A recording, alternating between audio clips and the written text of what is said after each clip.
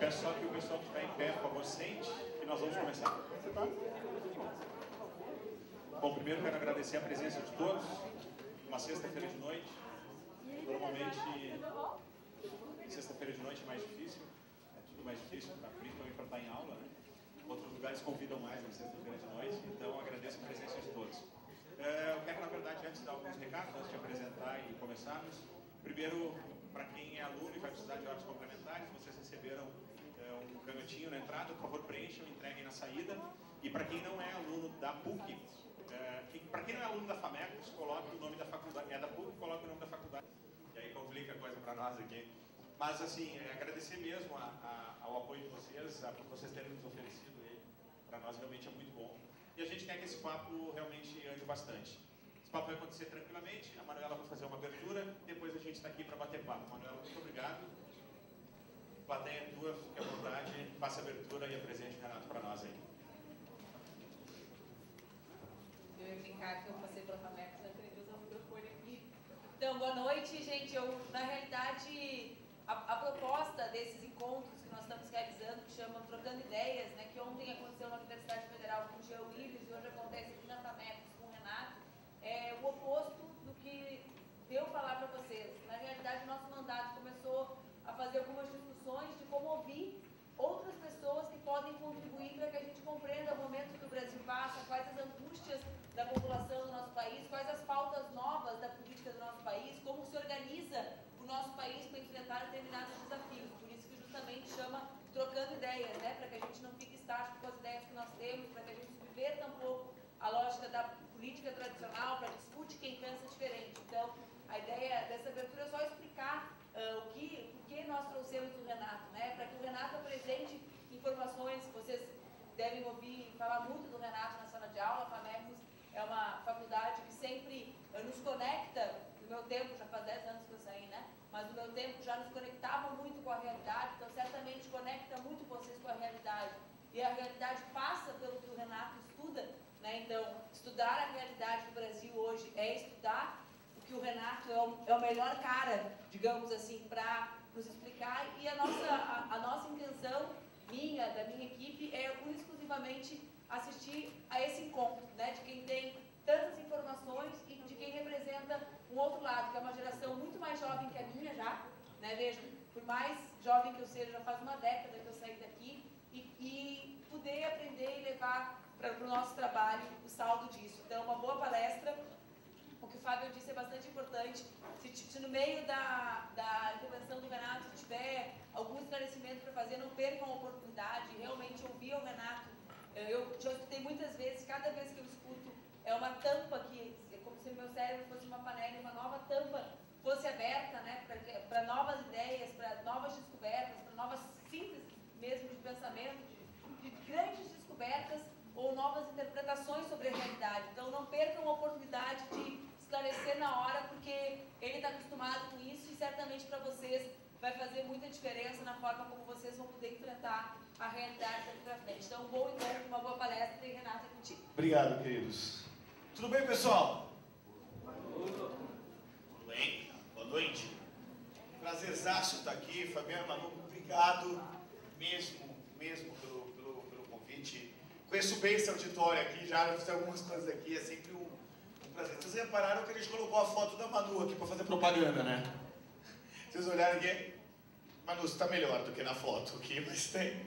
A gente separou para vocês um pouco do que o Data Popular tem estudado aí sobre a tal da, da classe C e da nova classe média brasileira. Hoje está na moda falar de classe C, mas quando a gente começou a falar sobre isso, há, há 13 anos atrás, não estava na moda falar de classe C. Aliás, a gente tomou, na boa, quatro anos de prejuízo, porque poucas empresas acreditavam que a classe C fosse é, virar o que realmente virou no nosso Brasil. Uh, eu queria começar dizendo que todo mundo já sabe, ou ao menos deveria saber sobre a classe C.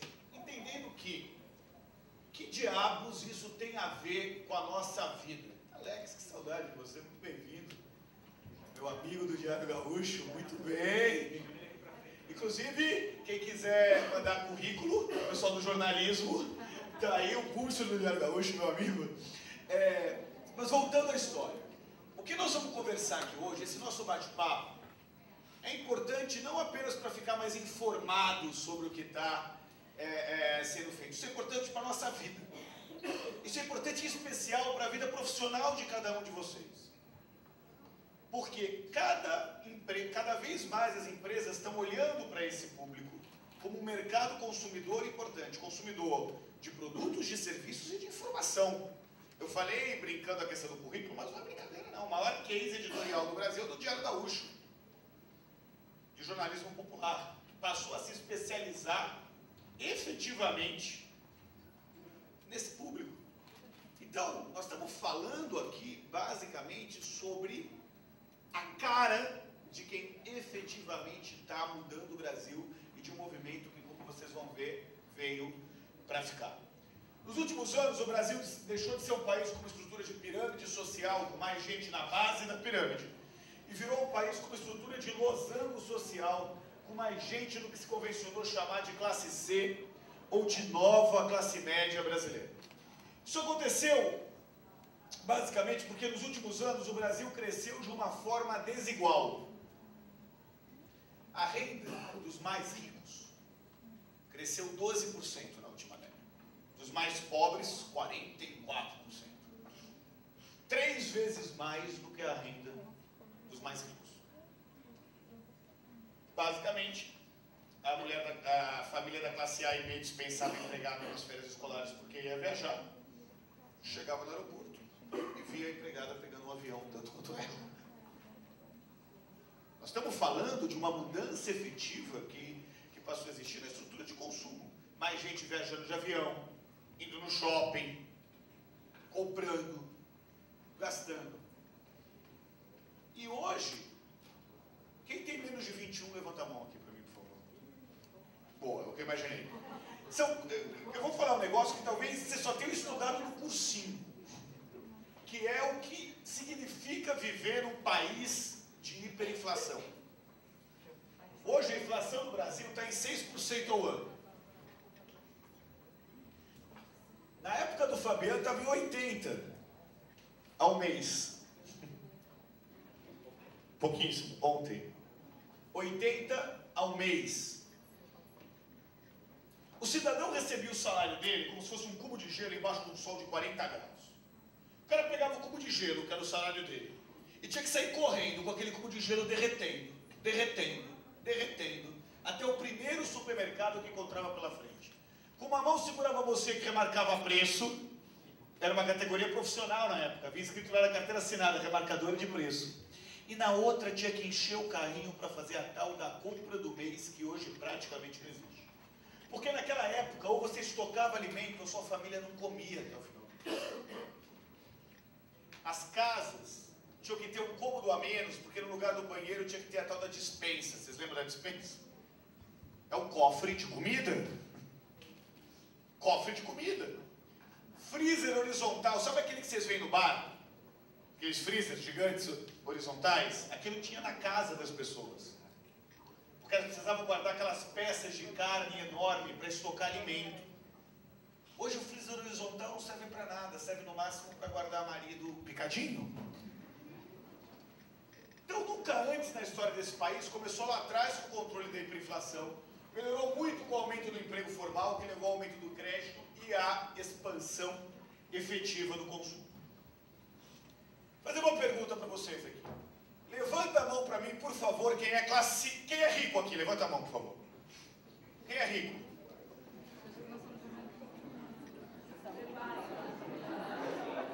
Quem é pobre aqui?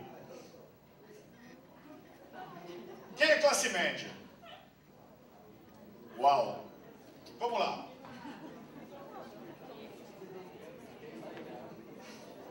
Média é o conceito estatístico. Desculpa perguntar, quanto está a mensalidade? Mil reais. Mil setecentos reais. Ok. Pessoal, vamos lá. Nós chamamos de classe média ou classe C, que é a mesma coisa, O C está no meio, né? Tem a B em cima, D embaixo, o C está na média lá, está no meio.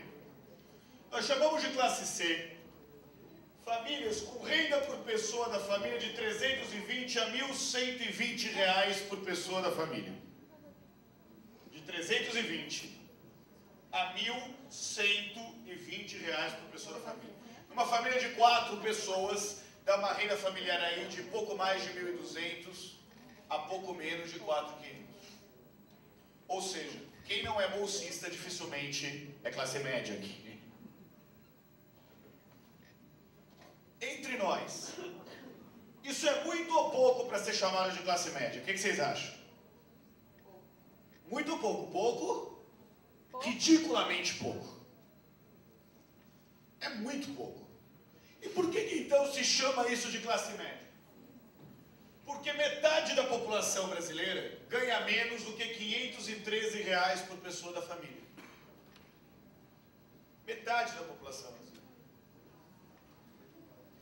Os 5% mais ricos do Brasil têm uma renda por pessoa da família de R$ 2.450, R$ 2.500 para arredondar.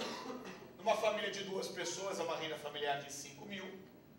Numa família de três pessoas, de 7.500 uma família de quatro pessoas, que é a média, uma renda familiar de 10 mil reais. Só 5% das famílias ganham mais do que isso, galera. O que, que esse gráfico que está aqui atrás de mim significa? Então, que a renda no Brasil ainda é muito mal distribuída. Muito mal distribuída. Qual é a boa notícia que o gráfico diz? Que nós, e o Abílio Diniz somos da mesma classe econômica, está todo mundo lá no topo da pirâmide. O que tem gente aqui que entrou achando que era pobre ou classe média e descobriu que é rico é impressionante, né? Nós não podemos falar que os 5% mais ricos do Brasil são média. Não é média de nada, é o topo da pirâmide. Eu dei uma aula na GV outro dia, perguntei quem era classe média, todo mundo levantou a mão, igual vocês. E aí, é, eu falei, não, é todo mundo rico. Não sei. Não, mas lá a mensalidade estava mais cara. Lá a mensalidade estava dois pau e meio. Daí todo mundo levantou a mão. Aí o cara do fundo falou, Renato, você está dizendo que eu sou rico? Eu falei, que tem um filho da mãe que senta no fundo e quer ferrar nossa vida, né? Por favor, não façam isso comigo. O cara levantou a mão e falou, Renato, você está dizendo que eu sou rico? Eu falei, exatamente. Rico é o Antônio Emílio de Moraes, o Abílio Diniz, na época o Eike Batista. Agora o Eike está igual a gente aqui. São eles que estão lá no topo da pirâmide de renda. Eu falei, não, eles não estão no topo da pirâmide, eles são os faraós, eles mandam na pirâmide. Então entender que média é um conceito estatístico é o primeiro desafio para entender o que, que mudou na renda do Brasil. Toda vez que eu mostro esse gráfico, alguém pergunta, tudo bem, Renato, mas compara a classe média brasileira com a classe média norte-americana. Eu ouvi tantas vezes isso, fiquei com o saco tão cheio de ouvir essa pergunta, que eu fui comparar com a classe média norte-americana. E aí eu descobri que não dá para comparar com a classe média norte-americana. Porque os, os americanos são mais ricos que 89% da população mundial. Agora, quando eu comparo a classe média brasileira com o resto do mundo, eu descubro que essa classe média brasileira, que vai de 320 a 1.120 reais por pessoa da família, é mais rica que 54% da população mundial. Ou seja, mais pobre do que a classe média brasileira tem um bilhão de chineses, um bilhão de indianos, quase todo o continente africano. Na prática, significa que, comparado com os americanos, nós somos pobres, comparado com o resto do mundo, a classe média brasileira é uma classe média alta. Como é que se deu essa mudança de classe nos últimos anos? Em 2003, a classe A e B era 13%, a classe C 38% e metade da população era classe D e E. Vocês veem que o rosinha vai diminuindo, o amarelo vai crescendo. Significa na prática que no Brasil a classe C cresce de baixo para cima. De baixo para cima. Repare no azulzinho aqui. É a classe A e B. A gente fez uma pesquisa, aliás foi capa da revista Exame, em que 44% da classe A e B era a primeira geração de pessoas com dinheiro da família. 44%. A mãe não era da classe B, o pai não era da classe B, mas ele é. E eu não estou falando de jogador de futebol ou cantor de música sertaneja, eles não são tantos assim. Nós estamos falando de empreendedor, de milhões de brasileiros que há 10 anos atrás ergueram uma laje na casa onde moravam, foram morar na parte de cima, foram morar na parte de cima, abriram uma distribuidora de água e hoje ganham 10, 20, 30 mil reais por mês.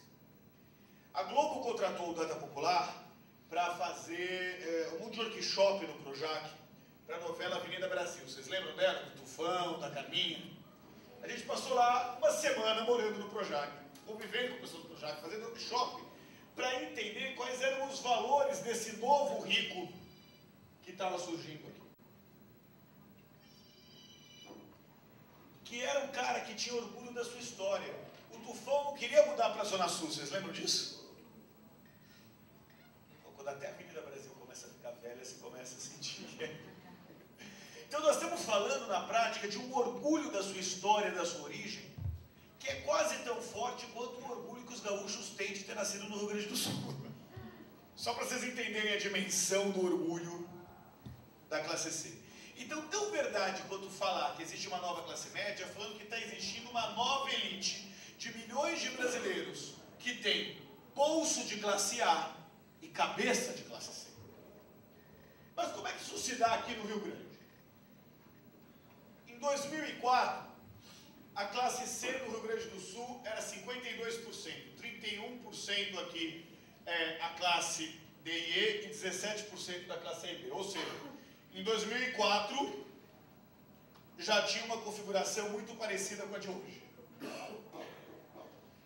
Hoje, a distribuição de classes no Rio Grande do Sul equivale ao que vai ser o Brasil, ao que vai ser, opa, cadê? O Brasil daqui a 10 anos. O Rio Grande do Sul é vanguarda das classes econômicas do nosso Brasil.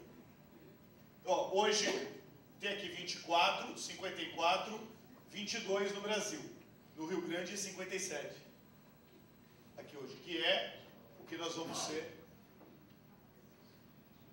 daqui a, o resto do Brasil vai ser só daqui a 10 anos. Então o Rio Grande do Sul está 10 anos na frente da distribuição de classes econômicas que existe no Brasil. Bom, se o Brasil cresceu de baixo para cima, mercados que antes eram completamente invisíveis cresceram, ganharam força. Um deles é a favela. O Brasil tem 11,7 milhões de pessoas morando em favela no Brasil. 11,7 milhões de pessoas. Se existisse um estado da federação chamado Favela Brasileira, ia ser o quinto maior estado do país. Eu tenho mais favelado que gaúcho no Brasil. Estamos falando disso. 11,7 milhões de pessoas que consomem 63 bilhões de reais por ano. Dois terços dos moradores de favela pertencem à metade mais rica. Quantas vezes o pessoal de jornalismo está pensando em como fazer uma notícia, dar uma notícia que o morador da favela entende? Ou quantas vezes nós estamos fazendo um filme publicitário que pensando no consumidor final, o cara da classe C? Só que é um mercado gigantesco. Quem se especializar nisso tem muito mais chance de dar certo. O que acontece é que a mudança de renda no Brasil foi numa velocidade tão grande que é muito comum nas favelas brasileiras a gente encontrar cenas como essa. Alguém imagina que esta casa e esta casa são a mesma casa? Por fora e por dentro. Se não fosse o Gel Bozano do Corinthians, eu ia achar que essa foto é mentirosa. Mas tá aqui, Gel, Boz, Gel Bozano do Timão. Na prática, quem vê rosto não vê bolso. Quem vê rosto não vê bolso. Então não dá para a gente achar que o que o Kotler escreveu para os publicitários lá atrás serve para vender para essa nova classe C. que o manual de jornalismo feito na época, que só a classe A e B lia jornal, serve para se comunicar com essa mudança que tem acontecido no país. Bom, com tudo isso, quando a gente pergunta para os brasileiros se eles são otimistas ou não com relação à vida melhorar, a grande maioria se mostra otimista em todas as classes. O que, que muda? Que a gente pergunta quem é o responsável pela melhora de vida das pessoas? 87% responde eu e meu próprio esforço, 61% Deus, 54% a minha família, a sorte 13% e o governo lá embaixo com 9%. Responsável por melhorar a vida das pessoas. Na prática significa que eu quero um governo que não me atrapalhe. E que cada um começa cada vez mais a chamar para si essa responsa de estar tá melhorando de vida. O grande desafio, pessoal, é que em geral a elite, que é quem está nas agências de propaganda, quem é que dirige a redação dos jornais, a elite tem um jeito de pensar muito diferente da classe C. Não entende a classe C. Eu fiz faculdade de propaganda. Eu tinha um professor de teoria da comunicação que toda aula chegava e escrevia Comunicação não é o que você fala, é o que o seu interlocutor entende. Comunicação não é o que você fala, é o que o seu interlocutor entende. Eu achava o cara um mala. Depois eu descobri que ele não é tão mala assim. E que o primeiro passo é a gente enxergar que esse cara da classe C ele é um cara parecido com a gente, só que com um pouco menos de dinheiro no bolso. Não é isso. Ele tem um jeito próprio de BBC de Londres fez uma pergunta para a gente. Eles queriam saber como que a classe alta no Brasil se considera. Nós vimos que 55% da classe alta acha que é classe média. Mas, pasmem, 35% da classe A e B jura que é pobre. Tem certeza que é pobre. Quando essa notícia foi divulgada, a BBC é uma agência de notícias importante, então um monte de jornal repercutiu matéria, foi engraçado porque é, um leitor é, mandou uma carta para um jornal de grande circulação lá em São Paulo falando o seguinte: se, é, sempre achei que era classe média. Lendo o jornal descobri que sou rico. É um absurdo falarem que eu sou rico, eu sou pai de família, tenho três filhos, tenho que pagar colégio particular para os meus três filhos, convênio médico para a família inteira, colocar gasolina nos meus dois carros, viajar para Disney todo ano. Não sobra dinheiro para nada. Como é que eu ia falar que eu sou rico? Meu amigo, aqui em qualquer lugar do mundo, todo mundo que faz isso é rico. Mas não, rico é sempre o outro no Brasil. É, rico é o seu chefe, rico é o patrão, rico é o Fabiano. São eles que estão lá no topo da pirâmide de renda.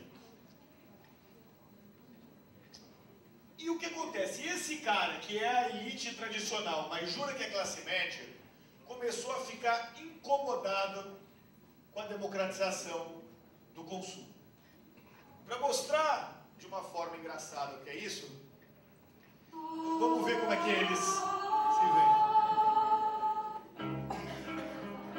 Salve, salve. Aí.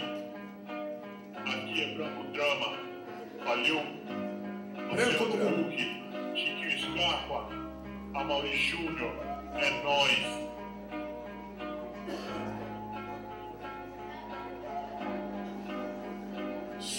Sabe o que? Não ter um Itaú, personalité Pega fila do banco dando papo meu 3G Vida insuportável, eu falo pra vocês Meu táxi não chega, tô atrasado pro francês tenho vontade de matar minha empregada Queimou minha camisa da Abercrombie importada. Às vezes até penso em fugir de casa Mas tem hotel que deixa minha rinite atacada. O caos aéreo me deixa infeliz Mais de uma hora de espera pra voltar de Paris. Tumulto na saída, bagunça no free shop. Não compre esses produtos com desconto, não sou pobre Andar no shopping no meio da pobretada Um monte de diarista que faz compra parcelada E essa fila no Starbucks é foda eu já bebi aqui antes de vir a moda. Eu sou da classe que sustenta esse país. Não tem nossa família, meu pai não é juiz. A minha vida é bebioca de pobre, classe média sofre. Não como miojo, mas nem como caviar. Se eu quero ir pra balada, eu tenho que trabalhar. É caro manter essa vidinha de um pobre, classe média sofre. É foda. Se a internet cai, eu quero explodir. Essa vida não dá mais.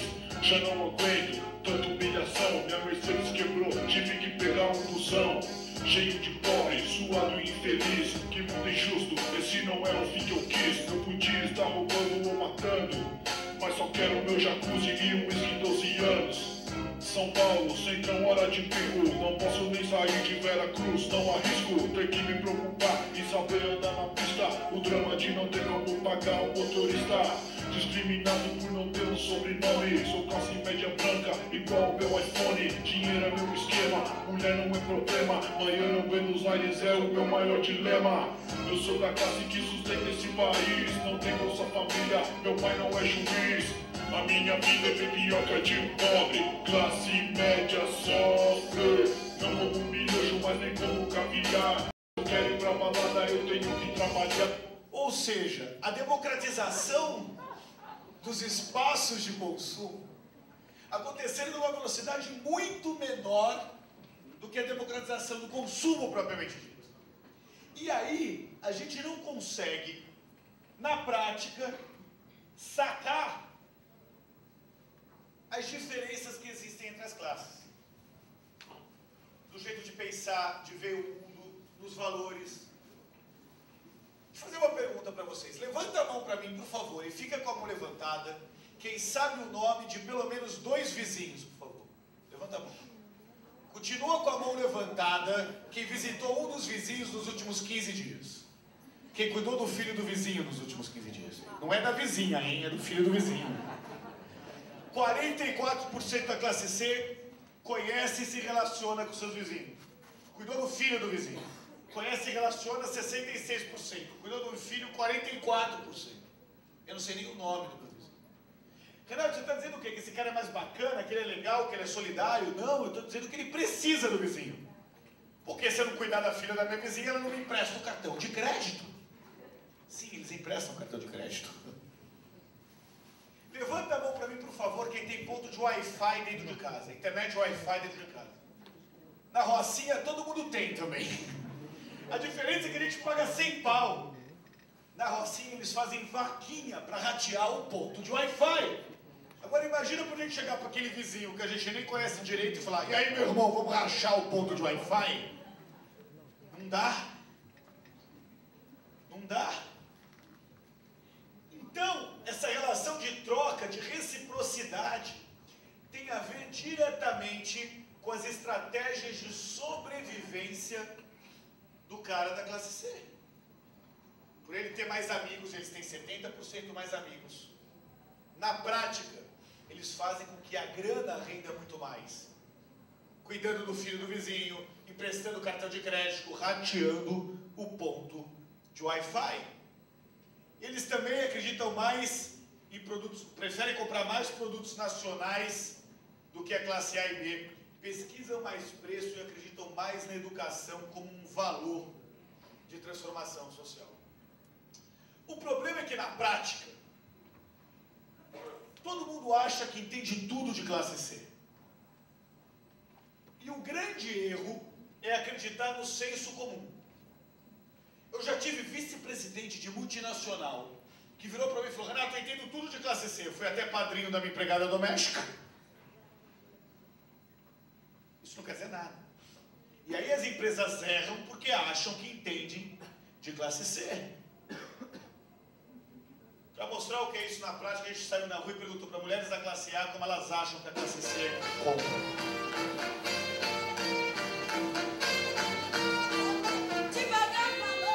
Lógico, ela tem que trabalhar para manter a casa, manter filhos, ajudar os pais, entende? É uma vida completamente diferente, né? Agora, eu acho que dá para fazer tudo. Eu não acho que é tão exaustivo assim. Acho que a gente precisa se organizar melhor. Eu sempre trabalhei fora.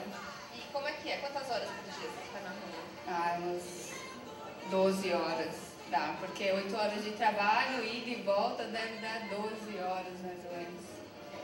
E quando você volta, o que que você tem que fazer em casa? Tudo, tudo. E aí eu peguei meu diploma, falei, mulher minha no trabalho. Homem nenhum nunca me estudou eu até hoje. Porque o meu salário dava me estudar. Mas eu acho que a condição delas não permite de comprar esse produto de, de vaidade. Porque dinheiro acho que não dá para chegar. Primeiro porque os produtos são caros, né? Para comprar meus produtos de beleza, sapato, roupa, isso aí é com o meu dinheiro. E assim, em relação, por exemplo, até acesso à viagem de avião? Ainda não é tão acessível para as pessoas de baixa renda, né? Ainda não, não é, é caro. Prático, né? Se eu fosse de ônibus, eu ia ficar três dias na estrada e de avião foi três horas. Eu acho que elas vão mais pelos da promoção. Eu não vou levar aquele que tá na promoção, se não for aquele que eu uso. Então eu levo aquele outro. Sempre costumo levar. Tipo carne, carne é a mesma coisa. Tipo assim, eu não vou aquele com mais barato. Então cuidado com o senso comum. Se a gente acreditar no senso comum, nós vamos errar, quebrar cara. O que é óbvio pra gente está longe de ser óbvio para a nova classe média brasileira. Um outro senso comum claro, claro, tem a ver com o tipo de beleza. A gente fez uma pesquisa, foi uma pesquisa grande online, com 30 mil pessoas no Brasil. Que a gente mostrava três fotografias sem mostrar o corpo da modelo, só mostrando o rosto da modelo. E perguntava para as mulheres qual era o corpo que ela achava mais bonito e para os homens qual era o corpo. É, que, não, desculpa, para as mulheres qual era o corpo que ela gostaria de ter e para os homens qual era o corpo que achava mais bonito. Vocês entenderam a pergunta não? Homem mais bonito, mulheres, o que gostaria de ser. Só por curiosidade, deixa eu ver como é que daria essa votação aqui. Atenção, mulheres, vocês vão votar no corpo. No corpo, vocês gostariam de ter. E homens no mais bonito, ok? Quem vota no número 1, um, levanta a mão para mim, por favor. Falei, Manu. Número 2. Número 3. Muito bem. Os votos no Brasil foram mais ou menos o seguinte: com 5% dos votos, praticamente com os votos das jovens mulheres de classe A, número 1, um, Gisele Bündchen. Com 25% dos votos, votos das mulheres da classe A e B, que é o grosso que a gente tem aqui, e de poucos homens, número 2, Juliana Paz. A grande vencedora, com o voto de praticamente todas as mulheres da, é, da classe C e de todos os homens, com 70% dos votos, Geise Arruda. Geise Arruda. Ou seja, sem mostrar o rosto, sem mostrar o rosto, o brasileiro prefere o corpo da Geise do que o corpo da Gisele. Renato, isso é legal, isso é curiosidade, mas que diabos isso tem a ver? Graças a uma pesquisa muito parecida com essa que nós fizemos para a CIA, elas reposicionaram a Gisele, fazendo com que a coleção da Gisele Bündchen deixasse de ser feita é, com, com ideais de tendências internacionais de moda passasse, ele lançou a, coleção Poderosas do Brasil, que era inspirado na história de mulheres reais. Pesquisem Poderosas do Brasil no YouTube, vocês vão ver lá os vídeos que foi feito dela indo na casa das pessoas, abrindo o guarda-roupa, vendo tudo isso. Só que isso fez com que elas escolhessem uma nova garota propaganda, uma nova coleção, que foi a coleção mais vendida da história da C&A, que era estrelada, feita e elaborada nada mais, nada menos do que a Preta Gil. E a coleção da Preta Gil vendeu mais do que a coleção da Gisele na C&A. Porque o ideal de beleza está muito mais próximo da rainha de escola de samba do que de modelo de passarela. Ainda nos cabe mudar isso, nos cabe entender isso. Isso acontece porque, por mais que a preocupação da saúde e da boa forma seja grande, 78% das mulheres acham importante manter a forma. 69% fala que aceita pagar mais caro por produtos saudáveis. 57% das mulheres não abrem mão de comer doces e frituras. Ah, Renato, tudo bem, ela come doce e fritura, mais malha. não malha. 75%, 3 quartos, 3 quartos das mulheres não malham. 12% sempre, 13% somente às vezes. Só 25% de fato fazem ginástica. Você come fritura, você não malha, acontece isso. Nos últimos 20 anos, as mulheres brasileiras ganharam 6 quilos de peso, 3 centímetros de altura, 4 centímetros de músculo, 9 centímetros de cintura, 4 centímetros de quadril e crescendo. E crescendo junto com a autoestima. Nunca se viu tanta gordinha com piercing no umbigo. Feliz? Mulher da classe A passa na frente de uma obra, mexeram com ela, xiii, engordei. Mulher da classe C. O que está acontecendo que não estou mexendo comigo? Pessoal, não estou fazendo juízo de valor, não é mais feio, mais bonito. É uma questão que ainda bem que graças à melhora da autoestima, à melhora da renda, nós estamos saindo da ditadura da magreza. E isso é um grande avanço para a autoestima da população brasileira. Sendo que o padrão médio da mulher brasileira é esse daqui. É esse o padrão médio da mulher brasileira. E ela está feliz sempre, todo como toda mulher, querendo emagrecer 2 quilos. Não interessa se ela tem 100 ou se ela tem 50, ela quer emagrecer 2 quilos. Mas esse é o padrão médio da mulher brasileira. E isso impacta as estratégias de negócio, de produtos, por exemplo, de, da Renner, da Marisa, da Rachuelo, da C&A. Então isso tem a ver com o nosso dia a dia, com as empresas que a gente pode em algum momento trabalhar com isso. Pessoal, o que fez com que o Brasil mudasse não foi o Bolsa Família, foi a geração de emprego. De emprego formal, antes de qualquer coisa. O Brasil ganhou 20 milhões de empregos formais na última década. Pessoal, me ajudem agora. Para vocês, qual é a diferença de quem trabalha com emprego formal ou não trabalha com emprego formal? Vamos lá. Uma diferença. Primeira. Ouvir? Aposentadoria, ótimo. O que mais? FGTS. O que, que significa FGTS na prática? É o Fundo de Garantia por Tempo de Serviço. Poupança. Que ele pode usar, por exemplo, para comprar casa própria. O que mais? Acesso à aquisição de patrimônio, uh, carro, apartamento. Patrimônio, mas ele podia ser um empreendedor e ter patrimônio também. Mas tudo bem, com a FGTS ele consegue comprar casa. A comprovação de renda. O salário pode ser mais alto. E daí depende. Algumas vezes é, outras vezes não é. O que mais? Dá para fazer o crediário. Porque tem... Boa! Crediário. Você tem condições de comprovar renda. Então, na verdade, o crediário cresceu também porque o cara passou a ter condições de comprovar renda. O que mais? Não, carteira assinada sim, mas o que, significa carteira assinada? Férias! Ninguém falou em férias. Décimo terceiro é trabalhar 11 meses e ter 13 salários. É isso? É o adicional de férias de um terço. Então vamos entender. Olha o impacto que isso tem no mercado de consumo.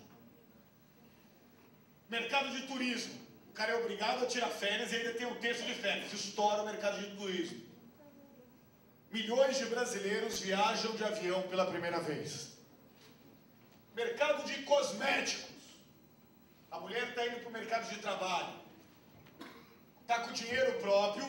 E não sei se vocês sabem, mas de cada das cinco maiores profissões das mulheres da classe C, quatro são de atendimento ao público. É vendedora, é recepcionista, é representante comercial. Então nós estamos falando na prática de uma mulher que está cada vez mais com dinheiro para comprar produtos e serviços de beleza e com uma necessidade objetiva de ter mais chance de crescer no mercado de trabalho do que se não tivesse. 57% dos brasileiros acham que uma mulher bonita tem mais chance de ter sucesso profissional. Isso, só que essa mulher foi para o mercado de trabalho, mas o homem não foi para a cozinha, né? Não foi dividir as tarefas domésticas. Então isso impacta a comida congelada. produtos semi-prontos, micro-ondas, freezer. Apenas esta porcaria de carteira assinada impacta nas estratégias de negócios de todo mundo. De todo mundo. Vamos falar de consumo então. A classe. Antes de falar os números de consumo do Brasil e aqui do Rio Grande do Sul, a gente precisa entender o que significa consumir para a classe C. Consumir, antes de tudo, esquecer do passado de pobreza. Eu passei uma semana morando na Coab 1, em Arthur Alvim, na zona leste de São Paulo, num apartamento de 39 metros quadrados, em que morava um gato, um cachorro e mais três pessoas, todos corintianos, inclusive o gato e o cachorro, em 39 metros quadrados. Eles só me aceitaram quando pela primeira vez eu repeti o prato de comida. Quando eu repeti o prato de comida, eu vi uma sensação de alívio no rosto de todo mundo. A dona de casa virou para mim e falou: Ufa, Renato, eu pensei que você não tinha gostado do meu tempero. O marido dela virou, foi pior, falou: Eu pensei que você achou que eu era pobre e não podia te oferecer dois pratos de comida. E aí eu, significa, eu entendi que consumir é, antes de tudo, esquecer do passado de pobreza, é poder oferecer. Que quando eles compram uma roupa bacana, quando eles compram uma roupa bacana, é para se dar melhor numa entrevista de emprego, muitas vezes.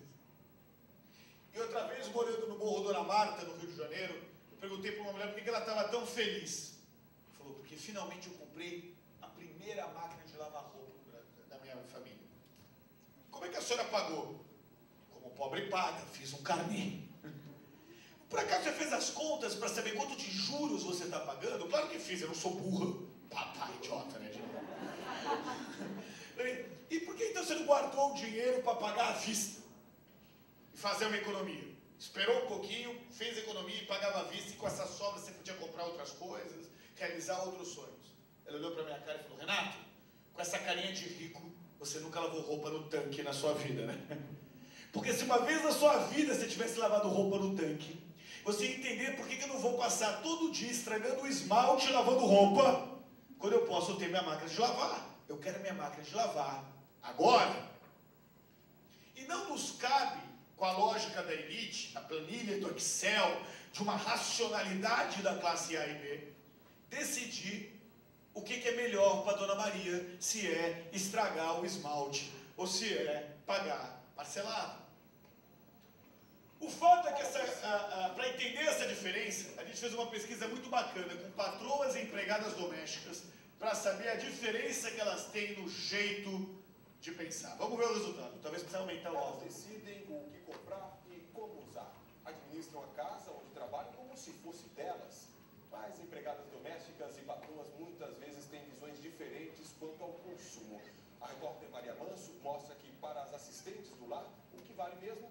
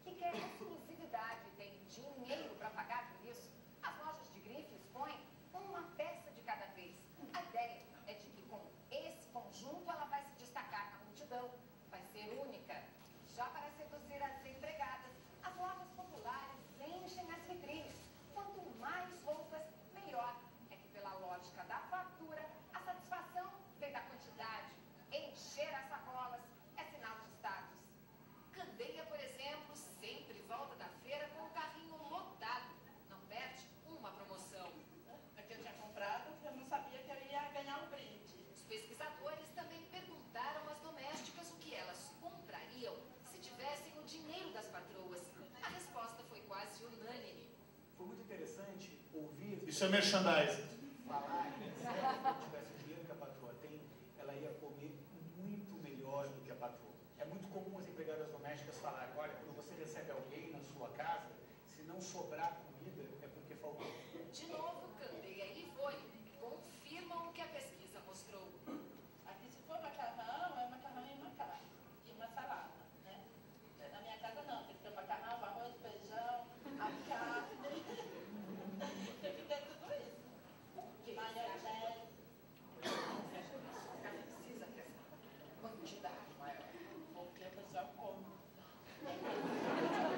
Dá pra ver pelo tamanho das duas, né? Empregada, eu sempre digo que não, consigo reclamar da cadeia, porque ela é o que ela é. Eu não estou partindo do ideal e tentando botar o ideal dentro de casa. A cadeia é assim, né? Pessoal, a Candeia é assim. Eu conheço a Candeia, já fui na casa da Candeia, nunca tive um caso com a Candeia, juro pra vocês. Mas a Candeia já viajou de avião a essa altura do campeonato mais de seis vezes. Candeia tem cinco cartões de crédito. A Candeia está fazendo terapia porque está de saco cheio do marido. E se eu falasse para vocês, olha, alguém que tem cartão de crédito, viaja de avião e faz terapia, pode ser assinante do seu jornal? Alguém tem alguma dúvida de dizer? Claro que pode. Pode comprar o seu produto? Claro que pode. E quantas vezes se faz comunicação pensando na candeia? E só de candeias eu tenho 7 milhões no Brasil. Agora, a candeia tem alguma cara de quem quer ficar parecida com a patroa? Nenhuma. A patroa é perdulária, joga dinheiro fora. Não entende por que, que na hora do almoço só come um franguinho com salada, podendo comer o prato cheio. A classe C definitivamente não aspira mais ser como a classe A. Só que a classe C movimenta por ano 1,17 trilhão de reais. 1,17 trilhão de reais é tanto dinheiro que se a classe média brasileira fosse um país, ela seria o 12 maior país do mundo em população, o 18 maior país do mundo em consumo.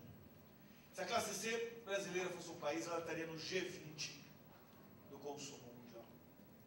Então nós não estamos mais falando de um nicho de mercado, ou de um nicho de, de cidadãos, ou de um nicho de consumidores. Nós estamos falando do verdadeiro mercado brasileiro.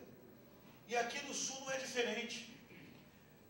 A classe média do Rio Grande do Sul movimenta por ano 68 bilhões de reais. Só a classe C gaúcha. Só a classe C gaúcha. Sabe o que é 68 bilhões de reais? Pega um país, sei lá, Argentina. Consome mais do que isso. Um país menor, a Bolívia. O Paraguai. Se vocês somarem o consumo da Bolívia com o consumo do Paraguai, é menos do que a classe C gaúcha consome. Esse lead é bom. 68 bilhões de reais é mais do que o Paraguai somado com a Bolívia. Tem gente, inclusive aqui no Rio Grande do Sul, que fala: ah, mas será que eu tenho que olhar para a classe C? Será que o mercado é importante? Será que compra jornal? 50 reais de cada 100 reais gasto com alimentação no Rio Grande do Sul são gastos pela classe C. 51% dos 4 bilhões de reais gastos com eletrodomésticos no Rio Grande do Sul são gastos pela classe C. 52% dos medicamentos. Bom, pessoal, que a classe C mudou o Brasil a gente já sabe. Mas quem são os protagonistas da nova classe média brasileira? A gente encontrou três protagonistas. Em primeiro lugar são os negros. De cada 10 pessoas que melhoraram de vida no Brasil, 8 são negras. E o Faustão ainda acha engraçado fazer piada de mau gosto na televisão. O cabelo da bailarina. 8 de cada 10 pessoas que melhoraram de vida. Eu falei isso para uma rede de varejo, uma, a segunda maior rede de varejo do Brasil. Falei, olha, vocês têm que usar garotos propagandas negros. Eu falei, ah, já saquei, tem que ser politicamente correto. Eu falei, não, eles estão, são um público importante. Daí o cara colocou uma mulher negra na propaganda do supermercado. Quem? Ajudando a patroa a colocar as roupas, as compras no carro. Eu falei, tudo errado. Ela é que compra, ela que está consumindo. E vocês não têm que se preocupar em ser politicamente correto. Vocês têm que entender que os negros movimentam por ano 720 bilhões de reais. E a última coisa que o negro quer ser é parecer branco. Que bom, graças a Deus. O segundo público que mudou o Brasil são os jovens. 42 milhões de jovens no Brasil de 18 a 30 anos de idade. São 21% da população, 32% do eleitorado. Jovens. O Brasil vive o que a gente chama de bônus demográfico, que é a maior concentração de pessoas em idade economicamente ativa. Quando você pega a classe A, 47% tem mais, 47% da classe A tem mais do que 40 anos de idade, ou seja, é velho para burro. Esse número cai para 34% na classe C e para 29% na classe D. Bônus demográfico é um momento histórico de cada país, onde você tem mais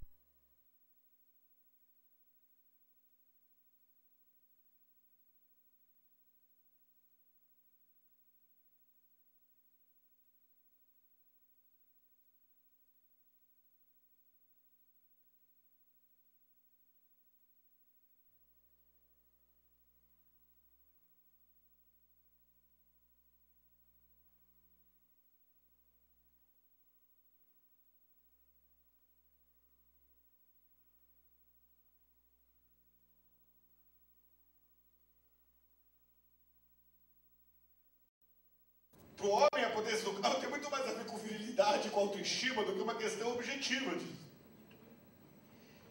E 53% dos homens casados afirmam que a palavra final do computador da família foi dada pela mulher. Aí eu não acreditei, achei que era mentira. E fui conferir em loco. Em loco. Uma dessas famílias. Peguei um questionário e fui lá visitar a família. Era um jovem casal que, de fato, tinha acabado de comprar computador.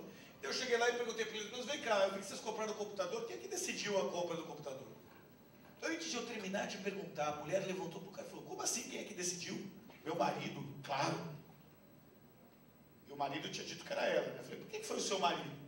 Porque ele entende muito mais de tecnologia do que eu. Interessante, é bacana o computador que o seu marido escolheu. É maravilhoso, tem Intel Core 2 Duo, 4 GB de memória, Wi-Fi, Bluetooth, webcam integrada, fala a configuração inteira do computador.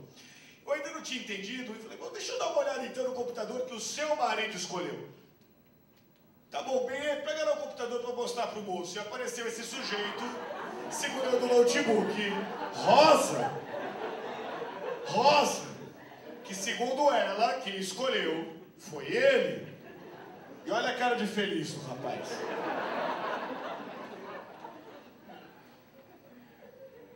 Então ficou claro que para a mulher o importante não é falar que manda, o importante é que as coisas aconteçam do jeito delas.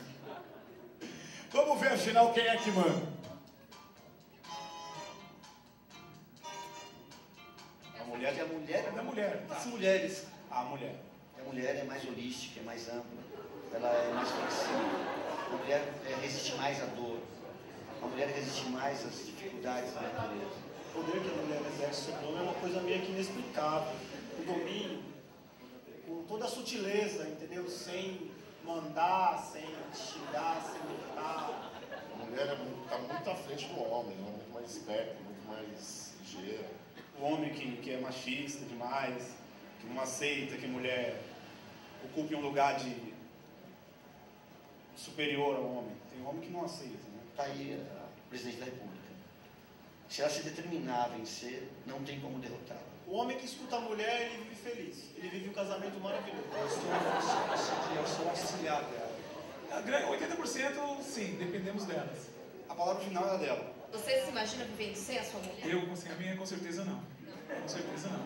Foi feita para até que a morte nos separe mesmo. E eu acho que a, espero que a morte seja bem longe assim. Ah, que mico! Outro dia a gente estava fazendo uma pesquisa sobre bancos E aí eu perguntei, uh, em renda das mulheres, então eu perguntei para uma mulher se ela trabalhava. Ela falou, não, não trabalho. Só ajudo meu marido no trabalho dele. Que interessante, qual é o trabalho do seu marido? Ele é dono de uma oficina mecânica. Mais masculino impossível, né? Falei, você ajuda o seu marido como? Você vai lá o quê? Uma vez por semana, uma vez por mês? Não, vou todo dia ajudar meu marido. E aí eu quis perguntar para ela, mas eu quero todo dia. Você podia ser independente, ganhar o seu dinheiro, ganhar o seu salário. Ele te paga com salário, por acaso, para você ir lá todo dia? Ela falou, com aquela sabedoria popular. Olha, moça, deixa eu te explicar. O meu marido é um mecânico de mão cheia. Ele entende tudo de carro. Tem uma freguesia fiel, mas ele não é muito bom com os números, não. Então eu tenho que todo dia lá receber o dinheiro dos clientes, pagar os fornecedores, e se ele se comporta direitinho, eu dou um trocado para ele no final de semana. Ou seja, no discurso, uma, ela ajudava o marido no trabalho dele, na prática o marido era funcionário dela. Então entender essa nova classe média brasileira é entender que a velocidade da mudança foi tão grande que a gente tem um consumidor da elite que como a gente viu lá no funk do banco do branco, do rap do branco drama, incomoda as classes A e B.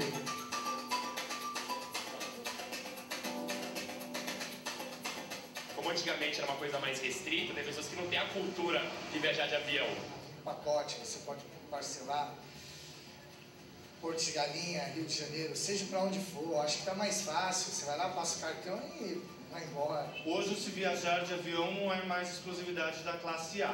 Existem é, players aí no mercado, como por exemplo o CVC, que acabou com a nossa boa vida.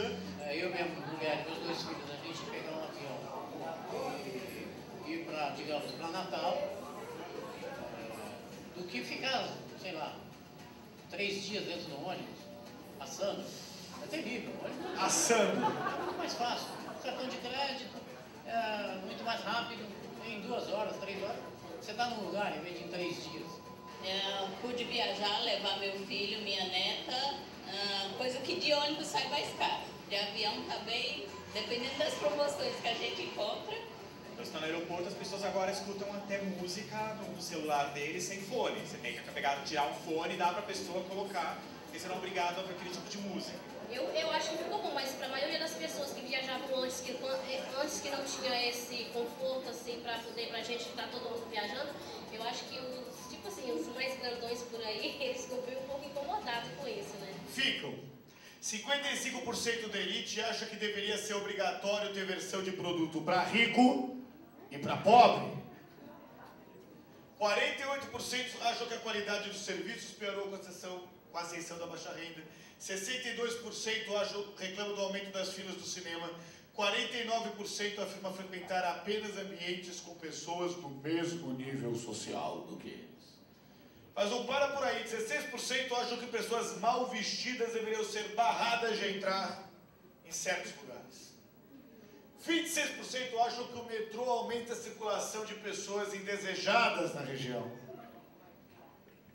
E 17% acham que todo estabelecimento comercial deveria ter elevador separado de patrão e empregado. E esses são os que admitem. Esses são os que admitem. Mas qual é a diferença disso para aquele médico que atende segunda, quarta e sexta no convênio, terça e quinta no particular, para não ter que misturar a clientela? Ou daquele sujeito que só porque tem um cartão de crédito Platinum tem entrada preferencial na fila do aeroporto? Não é isso? É a mesma coisa, que nós, publicitários, marketeamos isso. É, a companhia aérea, você chega lá na TAM e fala um jeito assim, desejamos um bom dia a todos, em especial aos cartões dos Fidelidade Vermelho, Black, tipo, vocês...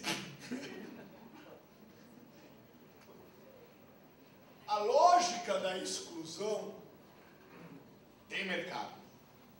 Triste mercado, mas tem efetivamente mercado. Então, para a gente terminar, qual é o principal desafio para conquistar a nova classe média brasileira? O principal desafio é romper com o que a gente chama de dissonância cognitiva que separa o mundo corporativo do universo das classes C, D e E. É uma diferença na formação cultural, educacional, econômica, nas referências estéticas e linguísticas. Eu fiz um seminário uma vez lá na RBS, o Alex vai lembrar, que eu falava, sabe qual que é o grande problema do jornalista? Tem vários, mas um grande problema é que ele acha que o texto dele tá bom quando o colega elogia. E não se teve leitura, não se foi entendido, não se a comunicação foi bem passada. Se ele acha isso, ele escreve com um repertório típico de jornalista para jornalista. Para vocês entenderem, vocês já leram um contrato na vida de vocês? É advogado escrevendo para advogado. O receituário médico. É assim que o seu leitor enxerga uma notícia que usa um repertório que ele não tem. Do mesmo jeito. Só para vocês sacarem na prática o que, que eu estou querendo dizer com isso. Na prática é isso. O publicitário que acha que propaganda boa é a que ganha o leão em Cannes. Acha um gênio aquela propaganda ridícula da Volkswagen do cachorro peixe, que ganhou o leão de ouro em Cannes e que não vendeu um carro. Porque o leão de Cannes não vale nada para quem mata um leão por dia para sobreviver. Nada. A minha provocação é que ou você entende a forma que os caras pensam, o jeitinho que o brasileiro pensa, você está fora do jogo. Outro dia eu cheguei lá na Data Popular, tinha esquecido o meu, meu crachá. Fui pegar na portaria, o é o porteiro, olhou meu celular. Falou, bonito aí, seu Renato, é o 5? Falei, é, Zé, é o 5. Desculpa perguntar, seu Renato, o senhor pagou quanto por ele? Zé, eu ganhei de um cliente meu, fui fazer uma palestra, ganhei, mas sei lá, ele deve custar uns.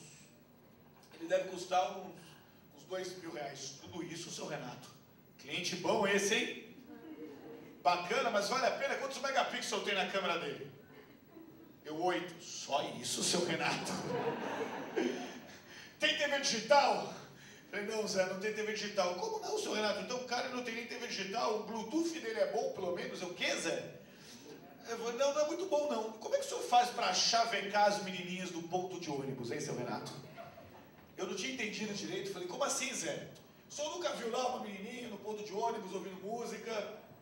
Chegou pra ela e falou, oi, eh, tá ouvindo o quê? Me passa por Bluetooth. Falei, não, Zé, eu nunca fiz isso. Não sabe o que tá perdendo, viu, seu Renato? Olha, eu não queria dizer nada pro senhor não, viu? Mas ainda bem que o senhor ganhou esse celular. Se o senhor tivesse pago, ia ser um péssimo negócio.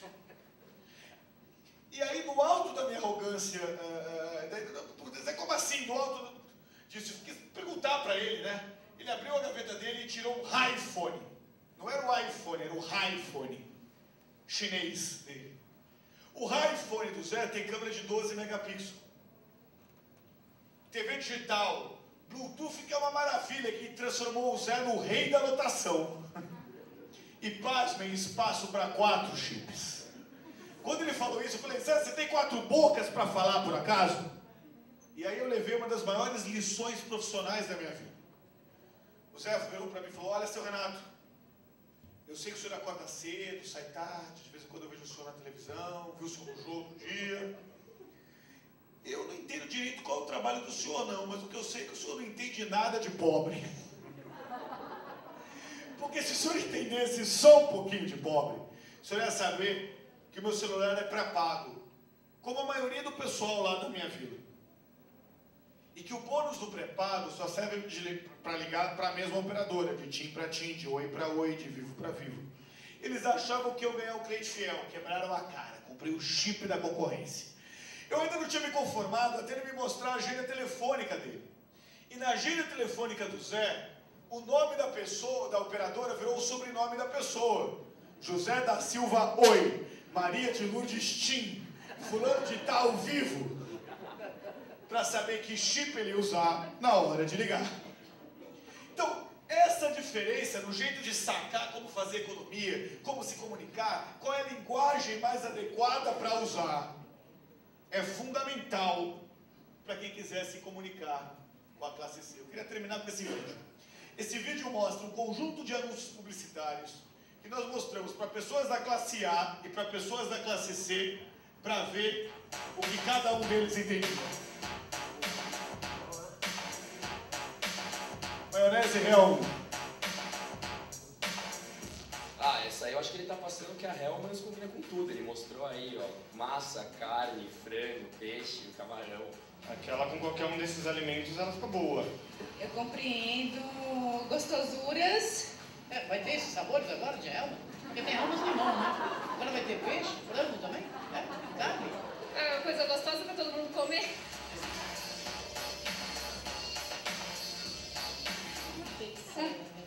Eu também acho, porque o rolô é muito interessante, ele vira de cabeça para baixo. Isso eu acho legal. Ah, é? É, eu acho, Ah, porque você, só, por exemplo, quando não é de cabeça para baixo, você tem que virar e esperar um pouquinho, né? Umedecer o rolô. É, então muito bem bolado. Bem bolado, isso eu acho legal. Ah, eu acho que eles fizeram, tipo, tem coisas que ficam melhor de cabeça pra baixo. Porque às vezes você tá usando um produto e ele tá acabando e você tem que deixar ele de cabeça pra baixo. Isso já veio de cabeça pra baixo. A proteção para as mulheres. Eu adoro isso aí. Eu não entendi muito bem porque o cabelo dela tava levantado pra cima, porque é Rexona. O que, que eu entenderia disso? Você fala do cabelo dela ou, ou desodorante? Eu acho que o desodorante, eu acho que o desodorante é interessante. Eu acho que foi uma revolução que veio uns tempos pra cá, que isso está sendo muito bom. Mas pelo cabelo dela, eu não entendi se usa gel.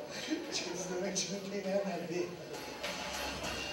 Antigamente, mulher bonita era avião, hoje é ultra leve. esse regime, então, tipo, tem que tomar um Guaraná Tais, sabe assim? Daí, com essa frase, tipo, antigamente né, era bonito com aquele corpão e tal, hoje em dia não tem que ficar magreza. Se tiver alguma coisa que comprove que o refrigerante emagrece, até eu acho legal, né? Bom, é um marketing interessante. Ela tá de patins, magra, um Guaraná Diet. Antigamente mulher bonita era avião, hoje é ultraleve. Não, eu discordo. Tudo bem, você vai tomar, então você, você só fica magro se tomar esse refrigerante?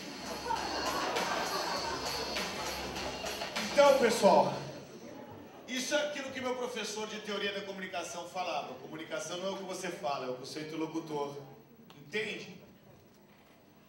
Então, a mensagem que eu queria deixar para vocês é que nesse novo Brasil, os profissionais só vão conseguir os melhores empregos, as empresas só vão conseguir crescer, vocês só vão conseguir vender jornal ou ter, ou ter é, ibope na televisão, se vocês forem capazes de comunicar de uma forma que as pessoas efetivamente entendam.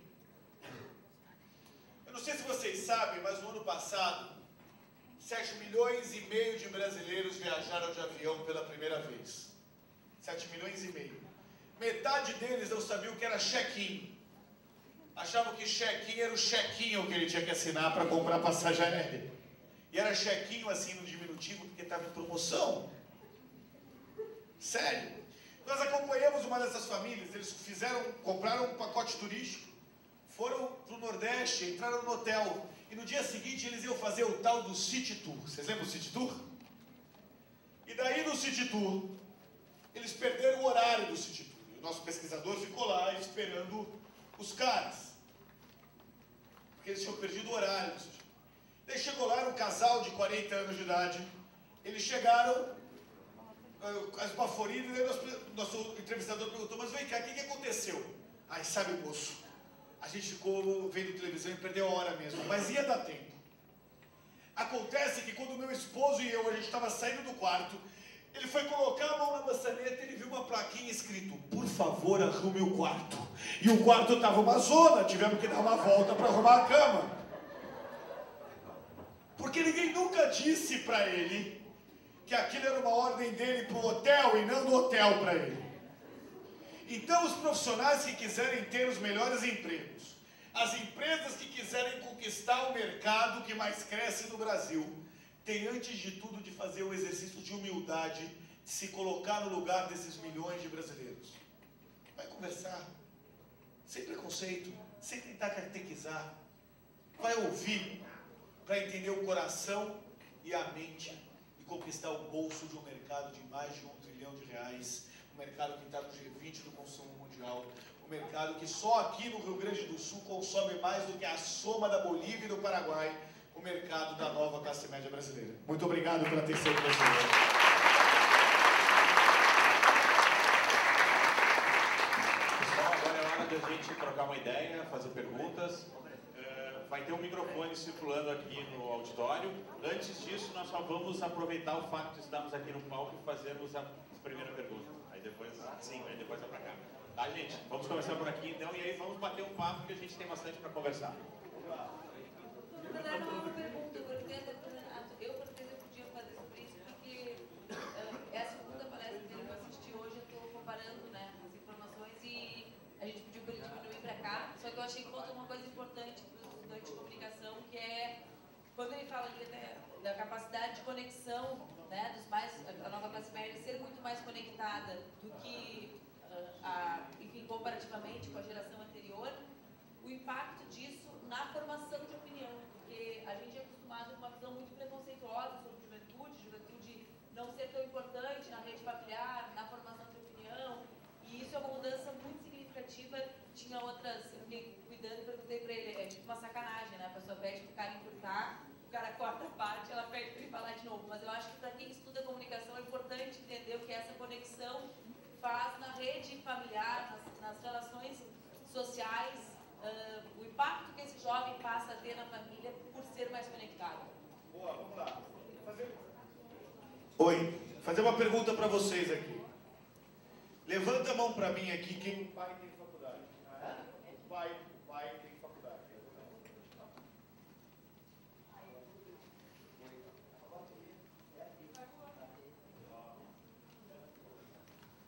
Levanta a mão de novo para mim quem o pai tem faculdade, por favor. Obrigado. Na classe C é o oposto. Você vai em qualquer faculdade de classe C, você descobre que os jovens estudaram mais do que os pais. 71% dos jovens no Brasil e 69% dos jovens do Rio Grande do Sul estudaram mais do que seus pais na classe C. De cada 100 reais da classe A, 55 reais vem do trabalho. eh, De cada 100 reais que o pai na classe A bota dentro de casa, o filho bota 55. Na classe C, o filho bota 96 de cada 100. E eles são muito mais conectados do que o pai. Quem influencia mais a família? Quem estudou mais ou menos do que o pai? Quem é mais ou menos conectado do que o pai? Quem contribui mais ou menos para a renda familiar? Então, o jovem, essa geração C, acaba sendo o novo formador de opinião dessa nova classe média brasileira. E isso é importante, porque se o jovem saca isso, além de decidir o próprio voto, ele passa a influenciar o voto dos pais. E isso tem a chance de mudar muita coisa no nosso Brasil. Oi, tu acha que o como é que você chama? Luísa, se tu acha que o jornalismo assim não está servindo bem o pessoal da classe C, o que, que justifica ter tantos jornais, eh, telejornais populares, assim, todas as emissoras fazem, menos da RBS? Por que, que as pessoas não mudam de canal e por que, que isso sobrevive se a gente não está conseguindo comunicar direito? Ótima pergunta e a gente atendeu tanto a Globo quanto a Record quanto a Bandeirantes, exatamente estudando isso. Não é que não atinge, você atinge um pé, você vai pegar a audiência desses programas, a, a, a grosso modo, é 15%. E não tem um diabo do anunciante. Sabe por que, que eles fazem isso? Porque a- a- o modelo de distribuição de verba do governo federal de audien- prevê a audiência média das emissoras. Os caras passam três horas no ar com um programa de jornalismo que mantém uma audiência de 15%, né, de, de 15 pontos, de, de 10 pontos, sem um anunciante. Sem um anunciante. Da Atena. Tá, só que aqui no Rio Grande do Sul todos têm o tempo inteiro, tipo moto na Record. Eles Aham. têm merchan o tempo inteiro. Tipo, ele dá três notícias e vai pro merchan. Que é isso que sustenta. Ah, tudo pic- são grande. eh, O daqui exatamente não sei, mas vou pegar na Bahia, por exemplo.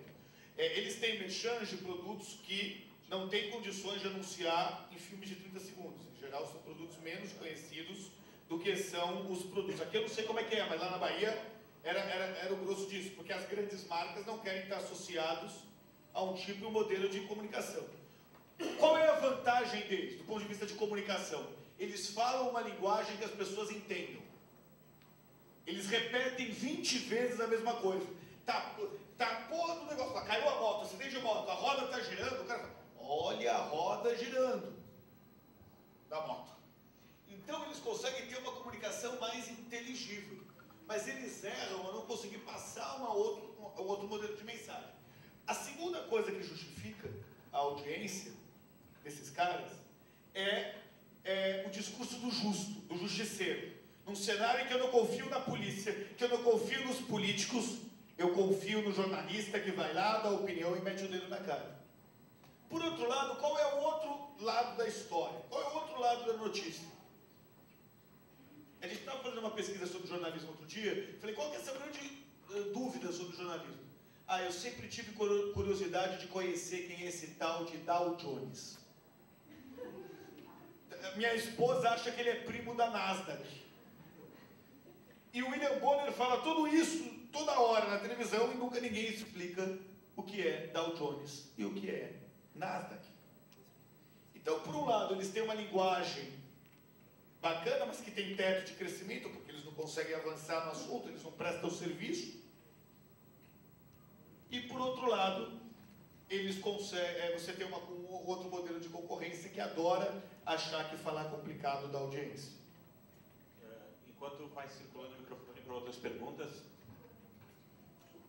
dentro disso, é, qual é a forma eficaz então de comunicar para a classe C? No jornalismo? No jornalismo, isso, desculpa. Olha, a gente tem. É... Se quiser fazer pergunta, levanta a mão. É, a gente tem estudado muito essa questão. E o que, que a gente vê? Em primeiro lugar, a importância de jornalismo de serviço. Que é mais ou menos na publicidade é, relegado a segundo plano, igual varejo.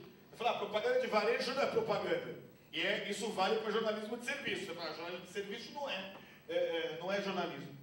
E o que é uma idiotice. É tão jornalismo quanto, e, e é, uma, é um tipo de comunicação que fica. Outra coisa a gente fala, olha, utilize uma comunicação com isso. O que é isso? É inteligível, simples e objetivo. É uma comunicação que todo mundo entende.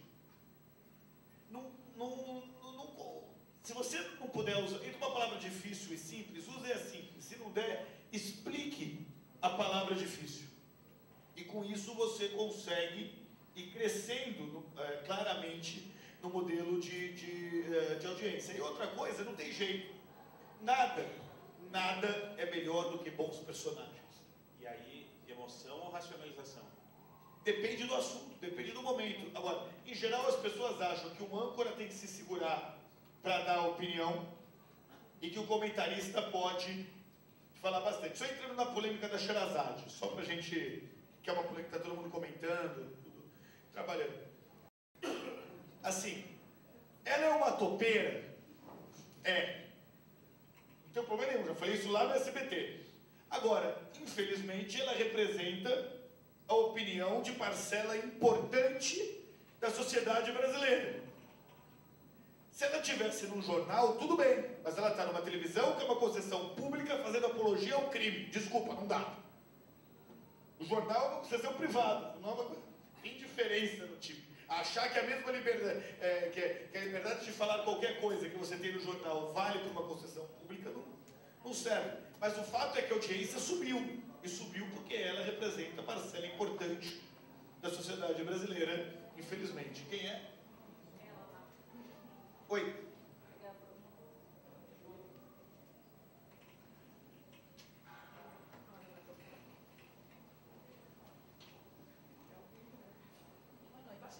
É, como é que se explica essa tendência lançada pelas novelas, por exemplo, esse esmalte agora da Giovanna Antonelli, como é que se explica esse consumo louco?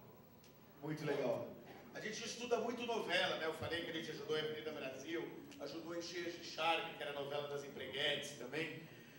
O que, é, a, nossa, a nossa hipótese inicial era que as novelas lançavam tendências. Só que quando a gente estava vendo o clone, que nem é da época de vocês, ninguém saía de burca. Vocês, vocês viram, não vale a pena ver de novo, vocês vão virar logo. então, é, é, ninguém saía de burca na televisão, é, na rua. O que a gente viu lá, estudando isso, é, presente no, no, no Projac, é que eles são muito bons para pegar tendências que estão latentes, que já existem na periferia, que a classe A e B não se tocavam Aí eles botam na televisão E aquilo vira como uma grande caixa de ressonância. Então não adianta você inventar uma moda que não tenha nada a ver com a vida real, que não seja algo que efetivamente possa ser utilizado.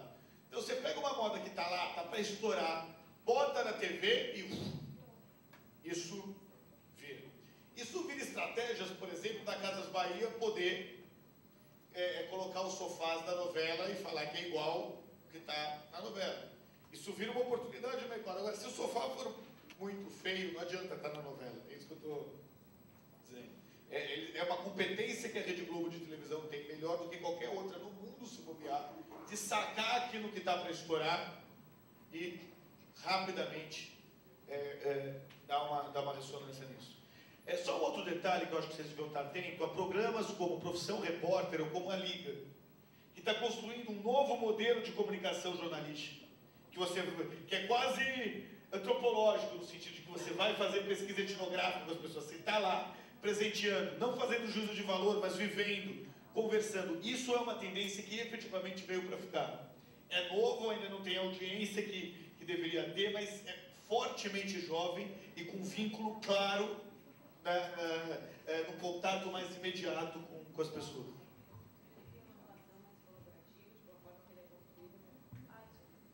Não, eu estava. se é pelo formato, né? Ele é um pouco mais, mais colaborativo, mais parecido com a lógica que a gente acaba formulando pensamentos depois na internet, né? Que é toda mais colaborativa. Se era por isso que você estava falando isso. É por isso também. É verdade, é mais colaborativo, tem mais fala, é mais interativo, você vai quebrando, né? você tem dinâmicas diferentes, mas também é uma forma que quebra preconceitos. Eu, vou fazer uma inscrição e comentar para vocês um workshop que a gente fez há cinco anos atrás do jornalismo da Rede Globo. A gente perguntou, eh, assim, foi, sabe na época que a Record teve pico de audiência? E as pessoas perguntavam, mas por que assim? Falei, porque boa parte dos evangélicos, que são a congregação religiosa que mais cresce no Brasil, acha que a Globo tem preconceito com relação aos evangélicos. Eu falei, nossa, que absurdo. Ah, não temos nenhum preconceito com relação aos evangélicos. Falei, que interessante. Deixa eu te perguntar, 3 milhões de pessoas na rua é fato jornalístico? Em algum lugar do mundo? 3 milhões de pessoas na rua. É ou não é um fato jornalístico em qualquer lugar do mundo? Claro que é, nós até cobrimos a parada gay, tinha um pouco menos, um milhão, mas falei, e os 3 milhões da marcha com Jesus, vocês cobriram? Não cobriram. No ano passado, vocês pela primeira vez deram uma nota. Era para mostrar o lixo que ficou na rua depois da marcha com Jesus. Isso mudou tanto na Globo que agora eles adotaram o Silas Malafaia, que é o pastor. Silas, meu amigo, estão lá. Cinco links ao vivo da marcha de Jesus. A última novela, tão importante quanto o beijo gay do Félix na novela, foi o batismo de um filho numa. E o, o casamento e depois o batismo do filho numa igreja evangélica. Que nunca tinha existido o evangélico, só aparecia. Tinha, quantas novelas espíritas vocês já viram? Os espíritas são 6%. Isso os evangélicos só apareciam como crítica. Pessoal, eu não sou evangélico, eu não sou espírita, eu estou nem aí para isso, não é esse o meu ponto.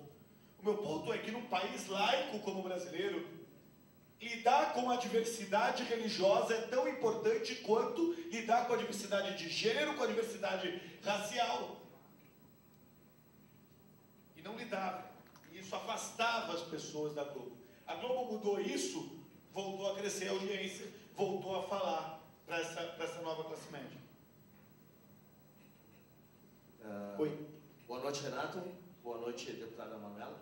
Ah, não sou da área da- do jornalismo, ah, sou bacharel em Direito pela Unisc, Santa Cruz do Sul.